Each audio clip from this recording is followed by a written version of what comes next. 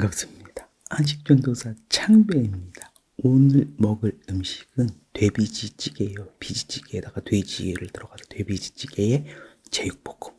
저 창배를 잊지 말아주시고요. 맛있게 먹겠습니다.